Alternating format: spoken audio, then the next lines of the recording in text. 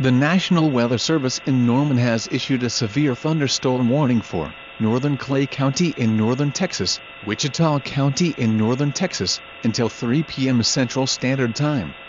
At 2:12 p.m. Central Standard Time, a severe thunderstorm was located along a line extending from Haynesville to Electra, moving east-southeast at 45 miles per hour. Hazard: 60 miles per hour wind gusts and quarter-size hail. Source: Radar indicated. Impact: Hail damage to vehicles is expected.